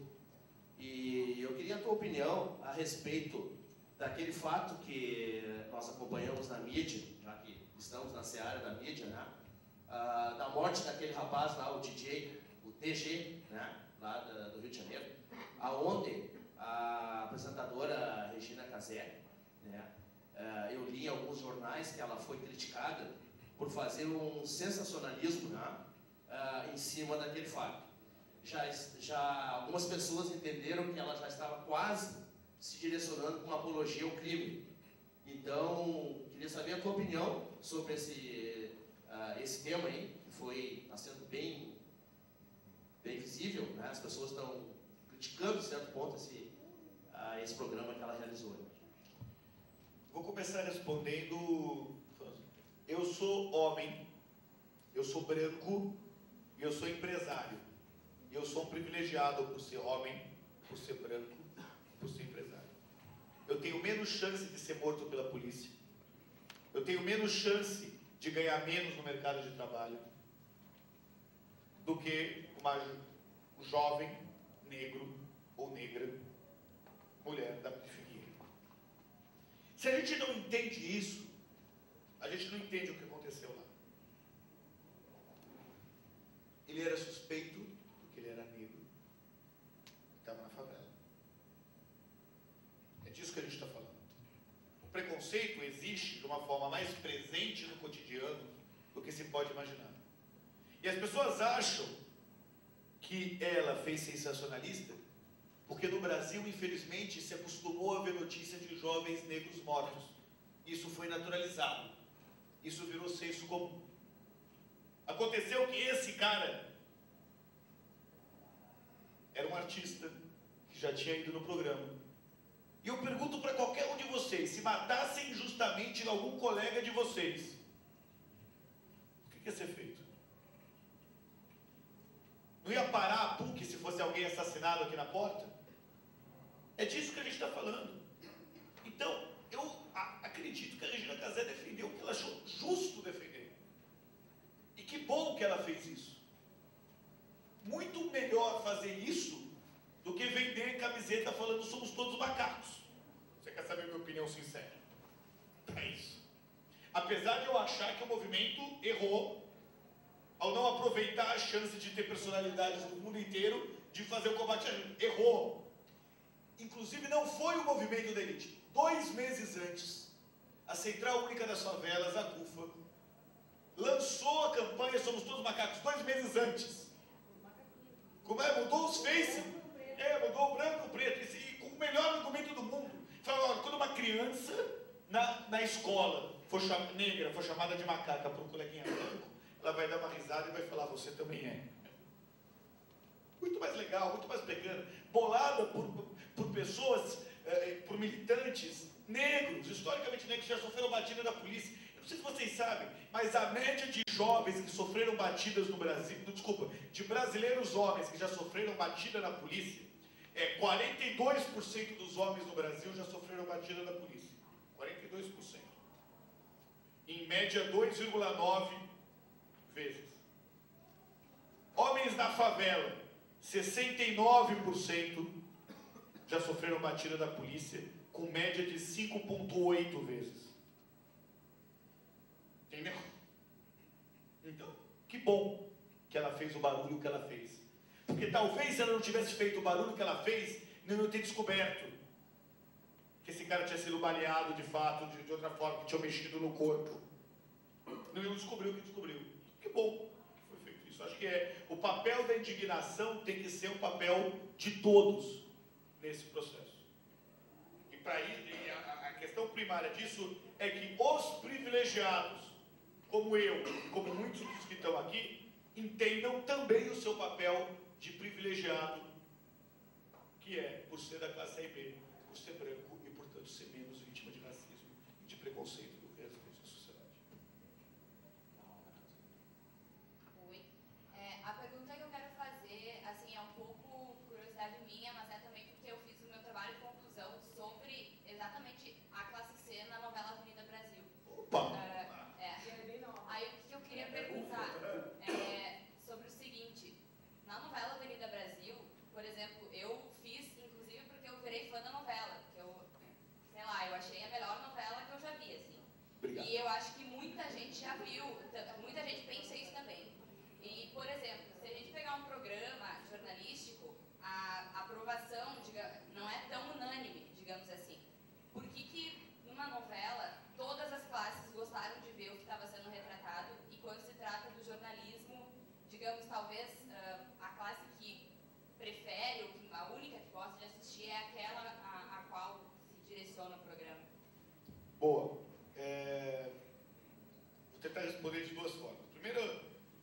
Jornalismo. É, existe historicamente um, um, grande formato de jornalismo que, que se demora para quebrar paradigmas. Um dos grandes problemas que se tem é, se, é de ter um jornalismo mais opinativo ou menos opinativo. Eu não vou entrar no mérito se é mais correto uma coisa ou mais correto outra coisa. Uh, eu parto do princípio que essa história de parcialidade nunca existe. Ao editar, você está sendo parcial, ponto. Simples assim. Por isso que eu defendo, já briguei com todos os meus amigos jornalistas quando eu falo isso, mas por isso que eu defendo o controle público de programação. Não, isso é censura, não, não é censura, isso é controle público de emissoras públicas. Censura é censura privada do dono da emissora que decide o que pode ir ou o que não pode ir. Isso é censura. Privada, de alguém que não teve nenhum voto. Polêmica à parte, o que acontece é que você tem padrões claramente estabelecidos de jornalismo e que demoram um tempo para mudar. Eu não acredito que o formato sanguinário vai ser o padrão que vai prevalecer, porque ele é jornalisticamente ruim. Porque ele repete 20 vezes a mesma coisa. Porque ele é feito para o cidadão que está fazendo outras coisas enquanto a televisão está ligada em casa. E a gente já fez pesquisa sobre isso várias vezes. O índice de dispersão lá é outra. Por isso que ele não se incomoda tanto de repetir 20 vezes aquela notícia. Já já a gente mostra a cara do assassino. Daqui a pouco a gente volta com o fulano de tal que é o assassino. Fala 20 vezes para manter o cara lá. Só que o cara está lavando louça, né? outras coisas. É uma outra, é uma outra pegada do ponto de vista de jornalismo. Por outro lado, formatos novos de interação crescem. A necessidade de ter comentaristas cresce.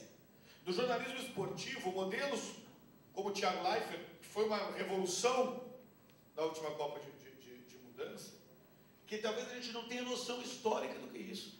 Vocês lembram do, do, da hashtag Cala Boca Galvão? O cara teve a coragem, e, e o Fernando, que na época estava no jornalismo esportivo, de botar o Thiago Leifert falando, cala a boca Galvão, vamos explicar o Cala Boca Galvão? Vocês têm noção do que, que revolução é isso no jornalismo esportivo? Na forma de mudar de linguagem? Então nós estamos falando de, de, de, de fato uma evolução. Por quê? Porque a comunicação como um todo sai da lógica unidirecional, histórica, do jornalismo escrito, impresso, da televisão, principalmente, em que você só, só podia falar e não podia ouvir, você não tinha feedback, não tinha contrapartida, para a lógica da internet, que é a lógica do diálogo. É essa lógica do diálogo que a gente está falando agora. É esse o desafio da comunicação 2.0.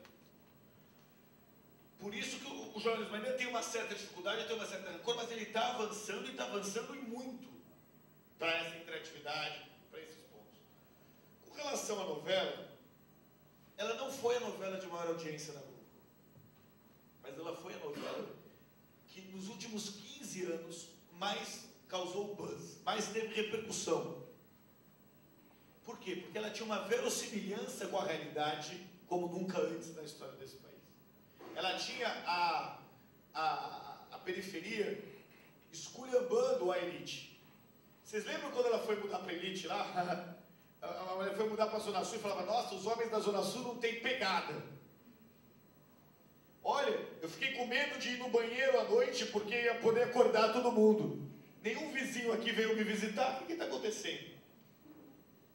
Eles esculhambavam a todo momento isso. E foi essa que eu analisei no trabalho também. Fantástico. Obrigada. Boa.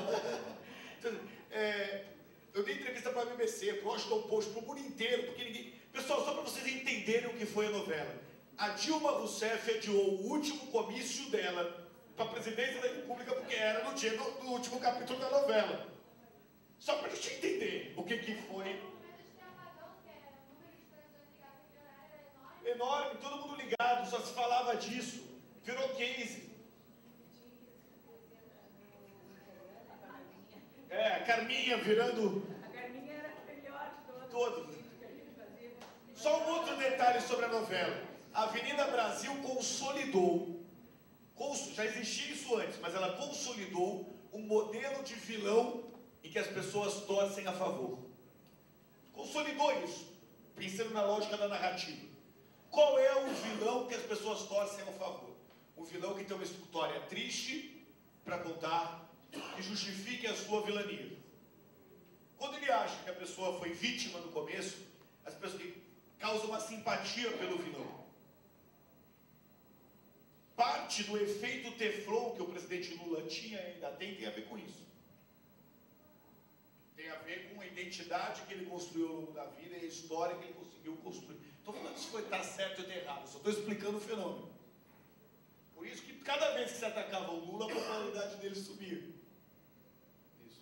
Então, esse, isso é um negócio muito brasileiro. O brasileiro aceita o vilão que tem uma boa história.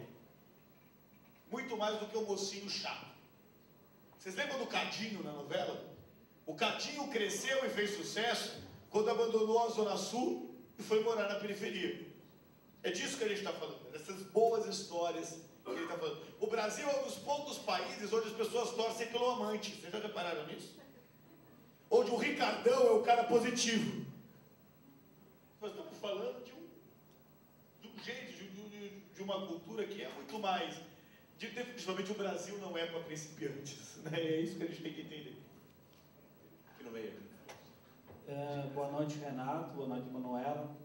É, somos de Erechim, não somos da, da área do jornalismo, mas a gente sabe que a classe média também, a classe C, ela também existe nas pequenas e médias cidades, a exemplo da nossa região, e sabe que quanto mais você anda subindo o país, ou no norte, nordeste, é, a exemplo de nós, lá nas pequenas cidades, temos apenas alguns meios de comunicação, que são as três, quatro redes de TV de massa, que de, é, acabam definindo que tipo de informação que nos chega.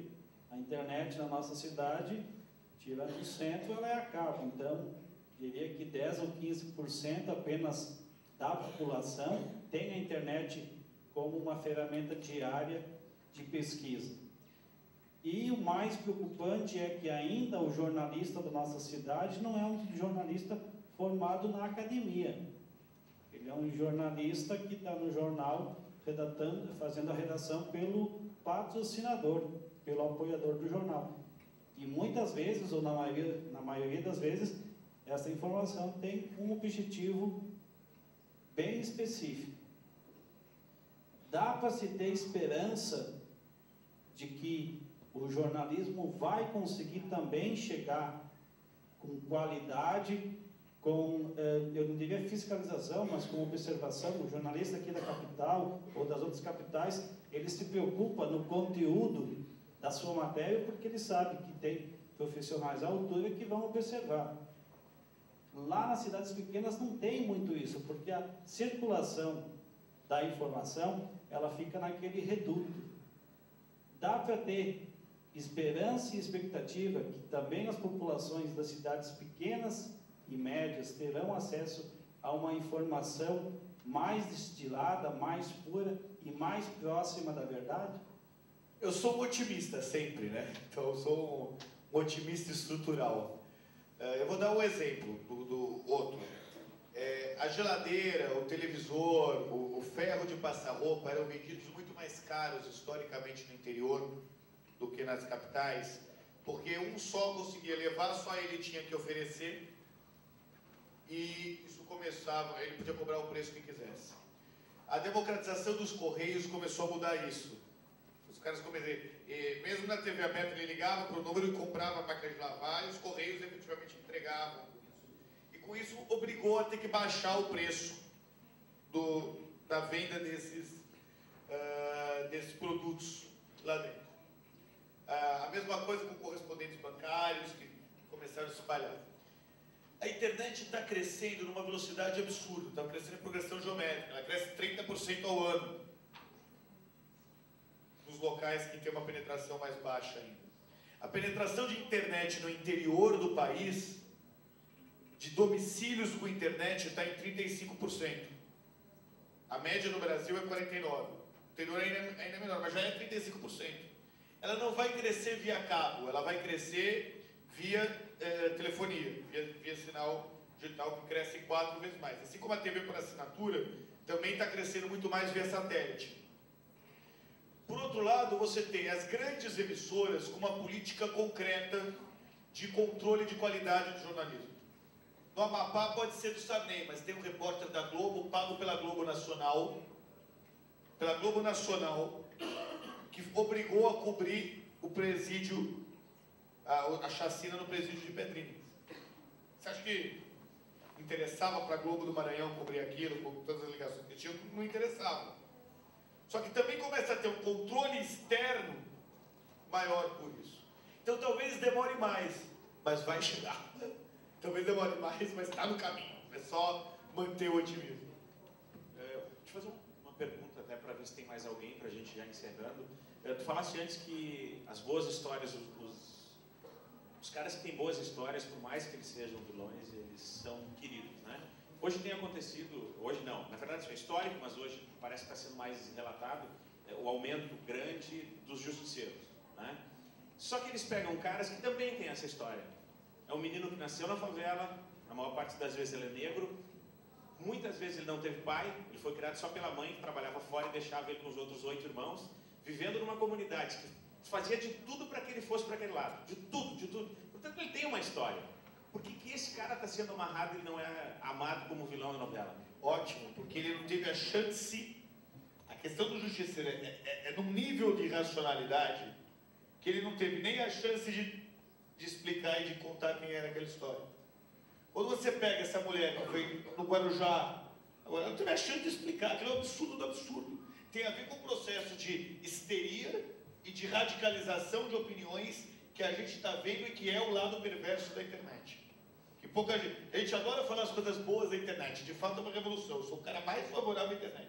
Agora, a, a internet também tende a radicalizar e cristalizar opiniões também como nunca antes na história desse país. Então esse cara não teve a chance de contar. Só aproveitando a deixa para os bons uh, uh, pegados assim, o que que, o que que vende? Vende no sentido comercial ou vende no sentido jornalístico?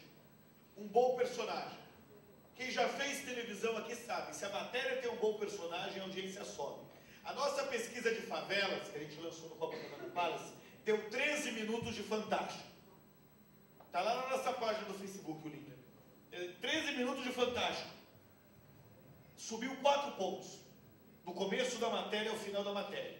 Cara, 4 pontos de audiência, de um começo de uma matéria ao final da matéria, não existe mais em nada. É muita coisa. Qual era a vantagem? Personagens que contavam a sua história. O personagem é o, o, o reason to believe da propaganda, do jornalismo. É razão para acreditar na propaganda do personagem. É que, eu vou dar um exemplo. Nós lançamos ontem, algum talvez vocês tenham visto, saiu em alguns jornais nacionais, eh, mas foi mais em São Paulo do que aqui. A gente fez uma pesquisa sobre falta d'água em São Paulo. Falta d'água. Ouvimos 18.500 pessoas. 23% dos paulistas que moram em casa, que davam mais de 6 milhões de pessoas, falaram que a água faltou.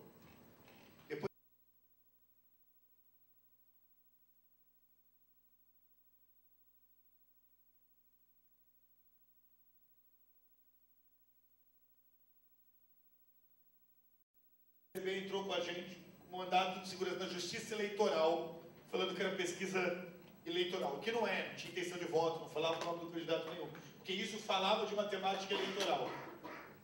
E aí foi para a Folha. Sabe o que aconteceu? Foi para a home do UOL. Home do UOL, do maior portal do Brasil. Um monte de gente que nunca tinha visto falar do dado ficou sabendo. E sabe o que, que eles falaram? O governador acha que não vai, o governador Alckmin acha que não vai faltar água. E você, você concorda com o governador? 77% discordava do governador, muito mais do que o nosso. Isso é tiro no pé. Para isso tinha que ter um dado verdadeiro, mas principalmente o personagem. As pessoas não estavam concordando comigo, elas estavam concordando com aquela mulher que teve que comprar copo e talher descartável porque não conseguia lavar na casa dela com o pai de família que não conseguiu tomar banho. A televisão mostrou isso. Isso é verdade. Enquanto a gente não saca essa, essa, essa veracidade no, no, no, no jornalismo, tem alguma coisa errada. O que aconteceu na tragédia do Garujá é horrível sobre todos os aspectos. mas é muito positivo para dar razão aos críticos da Sherazade. Foi isso que ele fez. Senão ia parecer que era opinião de um contra opinião de outro. Mas não é isso. O Boechat, âncora do Jornal da Bandeirantes, foi para cima dela.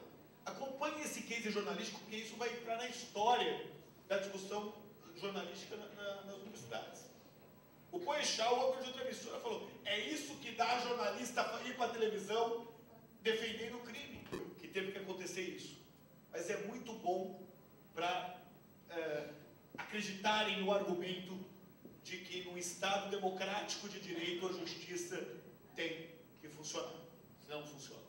A gente tem mais a possibilidade de uma pergunta e antes eu só quero dizer uma coisa. A gente gravou tudo na íntegra, ainda está gravando e a gente vai disponibilizar depois e aí vocês vão ter a possibilidade de assistir. Eu não sei onde vocês vão. Tem um.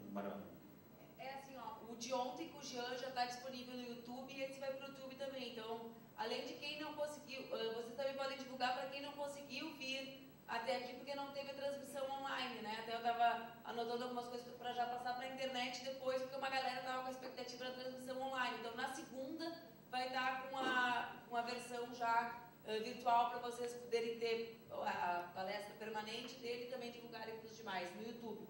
Aí procurem, vai estar no meu canal lá, Manuela W, é o canal, Deputada Manuela, tá? É, com Manuela com O, tá? O nome do canal, meu nome para mim é, é Manuela W. Última pergunta aqui então, Luísa. Queria te fazer uma pergunta do uso do entretenimento na notícia, que isso acontece muito no jornalismo popular. Eu não entendi, desculpa. Entretenimento na notícia, na Fantástico. informação. Teve uma autora que descreveu que é infotenimento, que está acontecendo não só no popular, mas o RBS tem feito também. Às vezes eu fico tentando achar explicação assim, para essas coisas. Eu gosto de entretenimento por quê? Porque eu trabalho com jornalismo a manhã inteira, eu chego em casa, estou exausta e eu não quero prestar atenção em nada. Principalmente em jornalismo, que é com que eu trabalhei. Então, tipo, eu mudo de canal e o que está acontecendo? O horário do meio-dia, meio-dia e pouco que eu chego em casa, tá dando só jornal. O horário do meio-dia, só jornal. O que acontece? Eu não sou classe média, eu reconheço isso, porque eu estou estudando há mais tempo. Até então, minha mãe não reconhece. Minha mãe acha que ela é classe C. Eu, mãe, tu paga minha faculdade, é dois mil reais, tu não é classe C. Mas ela não entende. Mas como eu estou estudando, eu já consigo entender um pouco melhor. Então, eu queria que tu me dissesse, assim, como é essa parte do uso de entretenimento na notícia. Se isso é uma característica exatamente da classe C. Ótimo. Acho que não é da classe C. Acredito que alguns modelos vieram efetivamente para ficar. É, tem gente que passa da, da linha. É, Esse limite entre. Como é que eu vou explicar isso? Uma coisa é informação, a outra coisa é a formação. A informação é o hard news. É a notícia na hora dada. Esse, em geral, vai, vão ser um conjunto de formatos mais quadrados. Só que o consumidor, em especial da classe C, começa a ter uma necessidade de ser também formado para isso. Nós podemos entrar na discussão teórica se é papel do jornalismo ou não é papel do jornalismo formado. Eu não tenho nenhuma opinião sobre isso e acho que é uma discussão teórica que tem que ser é, efetivamente vista. Mas modelos como a versão original do Hoje em Dia, que a Record passava, por exemplo, é um modelo que de alguma forma está falando das coisas que estão acontecendo e traduzindo isso para a vida real. É um modelo que tem mais a ver com reportagem que com notícia. Eu não acho que seja menos jornalismo por causa disso.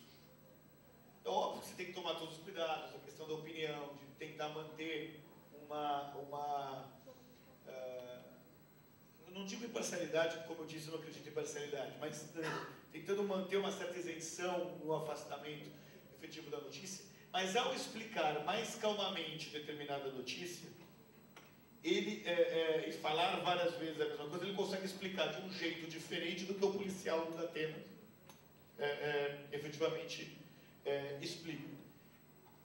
Vou dar um. Talvez um jornal que consiga fazer isso e ainda se manter com cara de jornal é o jornal hoje. O jornal hoje tem, uma, tem notícias mais longas, personagens melhores.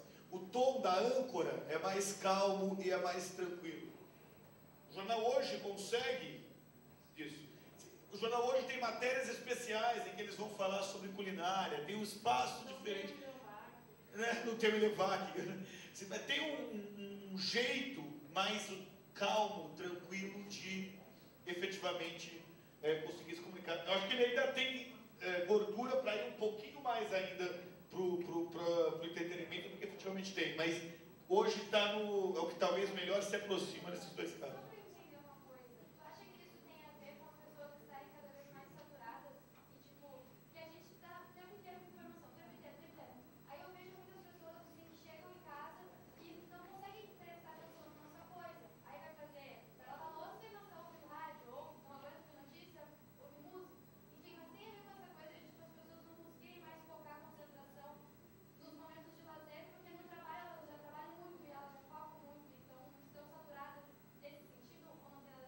sei. É, acho que talvez para alguns tenham, tenha isso a ver, mas tem uma questão de tom também. De, é, deixa eu entender, vamos, dizer, vamos trazer isso para a minha realidade. Isso tem a ver com a minha vida. O que, que o especialista acha nisso? Vamos acompanhar, eu vou dar um exemplo, um outro exemplo disso. O Fantástico. O quanto que o Fantástico é um programa jornalístico hoje, ou o quanto que devia estar na coluna de entretenimento da Globo? Estou provocando vocês aqui. Porque muitas vezes a gente tem uma intolerância com hoje em dia que não tem com o fantástico. Pela cara, pelo jeito. Mas assim, o cara está em pé, está conversando, inventaram o sofazinho agora tal. estranho. Em compensação, quando ele entra com uma matéria mais longa para um cara que não é jornalista, é médico, como o Drauzio entrou, o Fantástico sai do terceiro lugar e volta para o topo da audiência uma matéria que era que poderia tranquilamente estar em qualquer programa feminino da tarde. A matéria do Drauzio podia ser um VT de qualquer programa feminino da parte da tarde. O funk estava lá embaixo e o Drauzio voltou.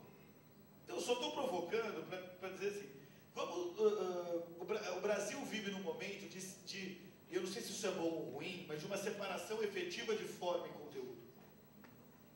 É o loirinho de dread no cabelo, é o cara com a camiseta do Che Guevara que vota no Maluf, é um forma e conteúdo, nem sempre estão tão, tão andando juntos.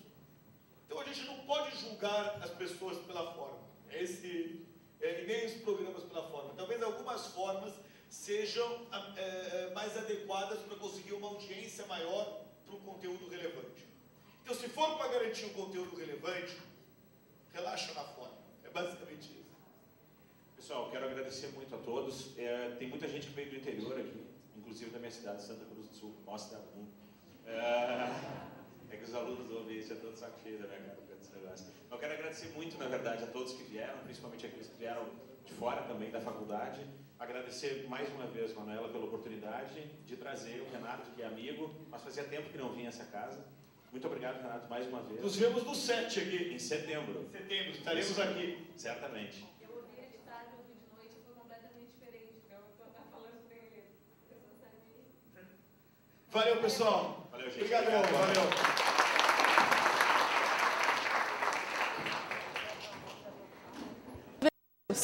Camila Porto para o Jornal da Famecos.